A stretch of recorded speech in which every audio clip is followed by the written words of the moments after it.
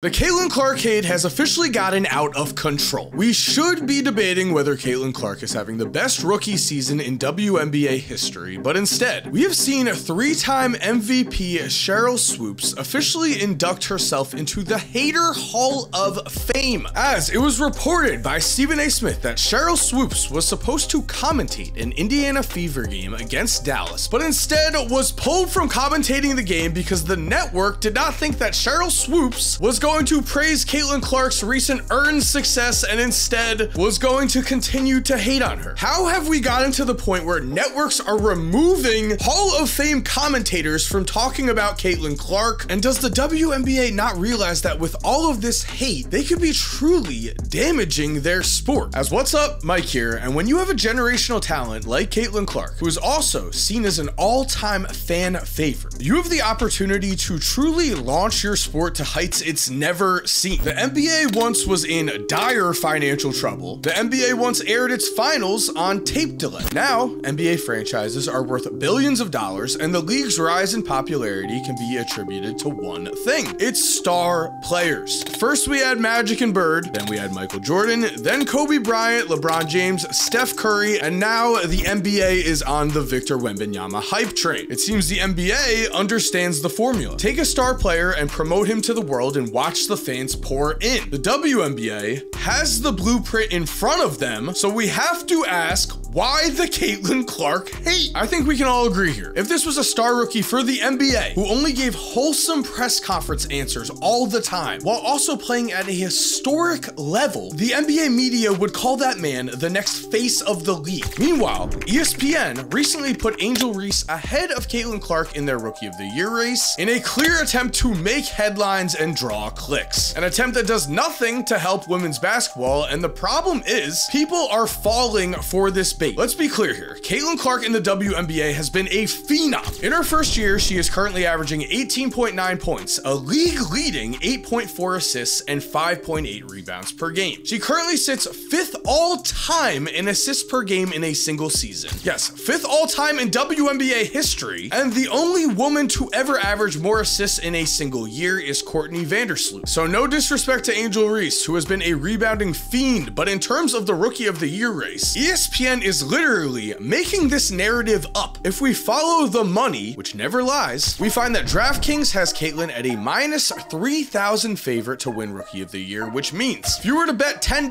on Caitlin Clark to win Rookie of the Year, you would make 30 cents in profit. AKA, this award is a wrap. The media might lie, Vegas's odds never do. But guys, before we continue, I'm very excited to say that this video is sponsored by SeatGeek, where the NFL season is right around the corner, and I don't know about you, but I want to be watching the game games live and in person. And that is why our friends at SeatGeek have you covered. Everyone, not just new users, everyone can use my code Mike10 for 10% off of any ticket on SeatGeek. Sports, festivals, concerts, you name it, SeatGeek has you covered as SeatGeek also rates tickets on a scale of 1 to 10. Green being good, red being bad, so look for those green dots. And no matter how many times you have bought tickets before, again, using code Mike10 is going to get you 10% off of your order. So what are you waiting for? Open your SeatGeek app, use my code Mike10 and get 10% off of your order order right now because this offer is only available for a limited time. That is code Mike10 for 10% off at SeatGeek. Thank you again to SeatGeek for sponsoring today's video. And now let's get back into today's video. So we know that Caitlin Clark is going to win Rookie of the Year. The question is, why are people pretending otherwise? Stephen A. Smith believes the answer to that question is simple. Evans takes the three, takes the two. A lot of contact from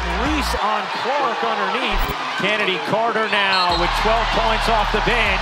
I, I think that's going to be a flagrant one. Jealousy. Stephen A says that in a media world filled with former players, a lot of these former players are jealous of Caitlin, and it's hard to find another reason. As right now, Caitlin Clark is truly showcasing a transcendent game at the highest level. Caitlin isn't just a logo three-point shooter. On July 6th, Clark took the court against the best team in the East, the New York Liberty, and put up 19 points, 13 assists, and 12 rebounds in a five-point statement win. This stat line gave Caitlin the first triple double by a rookie in WNBA history, and she wasn't done there. As on September 4th, Clark was added again, giving us 24 points, 10 assists, and 10 rebounds against the Los Angeles Sparks for triple double number two. Meaning, as a rookie, Caitlin Clark has already become one of just six players in WNBA history to have at least two triple doubles. The record for triple doubles in a single career is 10, held by Alyssa Thomas, meaning that Caitlin Clark is already one fifth of the way to the all time record. Speaking of records, Caitlin has also been a record machine in general. She has the most three pointers by a rookie, the most total assists by a rookie, the most assists by any player in a single game ever with 19 against Dallas. These are once in a generational type stat lines I'm talking about. So truly, we have to ask ourselves, instead of all of the negative conversations that have been had around Caitlin Clark, why are we not talking more about, is this the best rookie season in WNBA history? Is Caitlin Clark on path to become the best player in WNBA history? As I said before, the NBA was built off the backs of young, marketable stars, and Caitlin Clark is as marketable as they come. She is a freak of nature as a shooter. Her game is electrifying. She literally embarrasses players as a one woman highlight reel. She also, off the court, is humble, takes the high road, is always seen giving autographs to young fans. Not to mention, she fills up the stat sheet and she is a winner. So, what truly is the problem? If the WNBA just embraced that they had an all time talent on their hands right now, they could put a plan in place that would draw in lifelong fans and a new generation of girls who will be much more likely to follow in their favorite players' footsteps, making the sport of women's basketball better and better. Instead, though, we have seen a lot of dirty fouls, we have seen a lot of pettiness in post game interviews, and just in general, Caitlin Clark is always in the headlines with some form of controversy as the main talking point when again, people are really just hating on true greatness here. Because throughout all of WNBA history, the list of rookies who have averaged at least 18 points, 8 assists, and 5 rebounds per game is just one Caitlin Clark. This gets better. The list of players who have averaged at least 18 points, 8 assists, and 5 rebounds per game in general is just one Caitlin Clark. What? If we were to lower our requirements to 15 points, 4 rebounds, and 3 assists per game in a single season, we finally have a list of names to go off of as in their rookie years. Tamika Catchings, Candace Parker, Breanna Stewart, Diana Taurasi, and Sabrina Ionescu are the only six players in WNBA history to put up these stats in year one. That is an absolutely elite list as every one of these players, other than Caitlin and Sabrina, have been a WNBA MVP. And if Sabrina's career continues along the way it's been going, every single player on this list is going to be a WNBA Hall of Famer or already is one. The biggest difference between all of these names, Caitlin Clark is the first megastar off the court the WNBA has ever had. In 2022, the women's NCAA final brought in an average of 4.85 million viewers. In Caitlin's senior season, 2024, 18.88 million viewers watched her end her career against South Carolina. Four more million viewers than the men's game had. This is where Team USA truly messed up. The Caitlin Clark effect at the Olympics would have been tremendous. In the WNBA, the viewership effect has been the same. The Indiana Fever have been in all of the league's 14 most watched games this year, and the WNBA All Star game set record numbers with over triple the amount of average views than they have ever had before. There has been one difference it is Caitlin Clark. But despite the fact that Caitlin actually won three gold medals representing the United States in lower age brackets throughout her career already, Caitlin Clark was not asked to the Olympics, and we have to imagine that the women's game missed out on four to five the views, as that is normally what Caitlin pulls in. The WNBA could have had a situation where fans came to watch Caitlin. Team USA could have had a situation where fans came to watch Caitlin, and while they were watching Caitlin, found a new favorite player among all of the WNBA greats that were playing. But the league chose not to grow their game, even though picking Caitlin would not be a stretch at all. The Indiana Fever started their season at 1 and 8, but currently stand at 18 and 16 and just clinched a spot in the playoffs. This is Indiana's first playoff appearance since 2016, which is notable because Indiana was currently tying the record for worst playoff drought in WNBA history. And also, before Caitlin Clark got to this franchise, they were in shambles. Not only were they in the middle of a seven year playoff drought, in those seven seasons, the Fever had a combined combined record of 58 and 149, and in 2021, Indiana went 6 and 26 and followed that up with a 5 and 31 record in 2022. This year, Indiana is in the playoffs, and what's even more exciting is that Caitlin is already starting to play like one of the best players in the WNBA. In June, in 11 games, Caitlin averaged 15 points, 6.1 rebounds, and 7.2 assists per game on 41% shooting. Respectable numbers, but as she has adjusted to the WNBA game, she has taken a massive leap. As in the eight games she has played between August and September, Caitlin is averaging 24.5 points, 9.1 assists, and 5.6 rebounds per game on 48% shooting. Truly elite numbers as we head into the playoffs, and so we have to think, what is Caitlin about to do